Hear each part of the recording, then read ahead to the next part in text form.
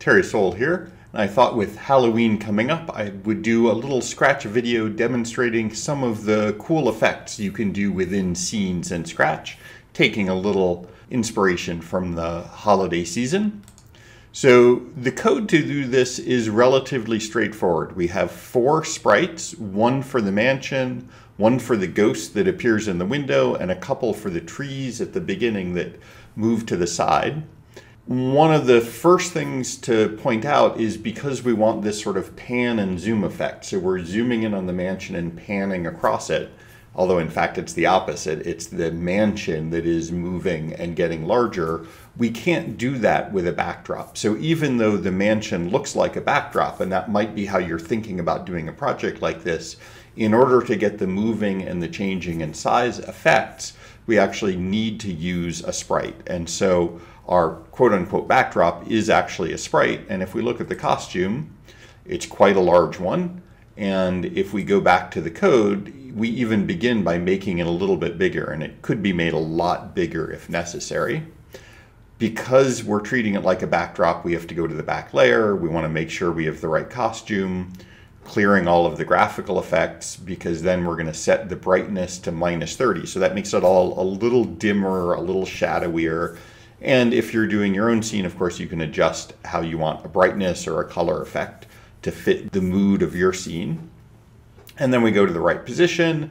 And sort of the key to making this work is a combination of a glide here. So that gives the effect of the camera panning across. And also when the green flag is clicked, we have this repeat that keeps increasing the size. So the sprite gets bigger. And so the net effect is as if we had a movie camera panning and zooming in at the same time.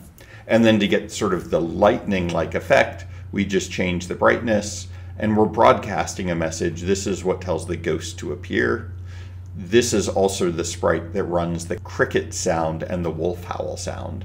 And then at the end, we set the brightness back to minus 30. So it's just some different standard scratch commands used in a way to give this sort of pan and zoom. And then if we look at the trees, they start quite large. So those are also large costumes so that they fill a lot of the screen. And in terms of the code, mostly all they do is glide out of the way to give that sort of the camera is moving forward through the trees effect. Turns out they're identical sprites. This one is just flipped in the other direction with, of course, the rotation style set to left right so it doesn't flip upside down. And then, of course, there's the ghost which appears in the window, but initially it's hidden, it's quite small, it goes to the right place.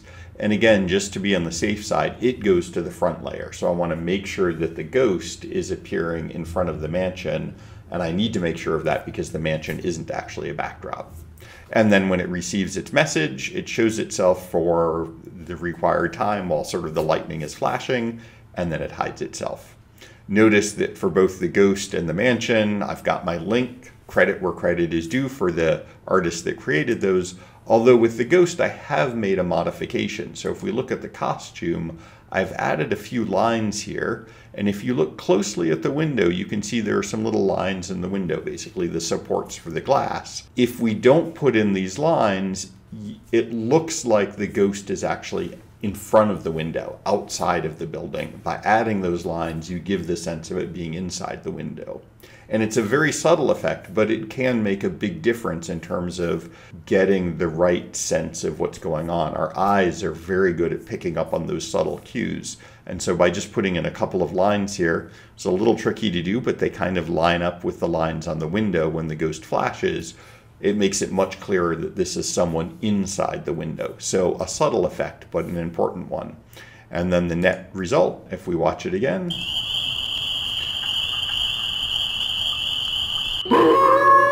nice little Halloween scene, right? So there's always a nice idea. Use the current season or use whatever is around you to inspire you to go out and create new projects. Thank you.